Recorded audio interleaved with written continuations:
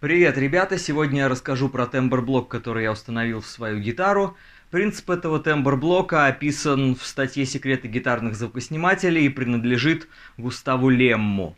Принцип его заключается в том, что вместо установки одного конденсатора и регулировки его влияния на звук, мы устанавливаем поворотный переключатель и то количество конденсаторов, которое нам необходимо. Каждый конденсатор формирует свой тембр. И это не просто срез высоких частот, а перемещение пика звукоснимателя. В статье можно подробно об этом прочитать. То есть в идеале мы имеем в гитаре несколько гитарных звукоснимателей – Крутая идея. На практике, конечно, все не так однозначно. На графике мы видим, что по мере смещения пика вниз уменьшается еще и его величина. И уже на последних конденсаторах АЧХ становится практически линейной. Тем не менее, мы имеем гораздо большую палитру звуков, чем со стандартным тембр-блоком. Давайте послушаем, как это звучит на чистом звуке и на перегрузе.